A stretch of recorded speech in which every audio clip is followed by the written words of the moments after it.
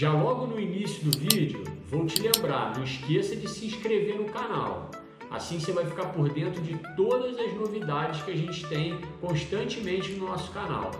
Tenho certeza que você vai ver casas fantásticas.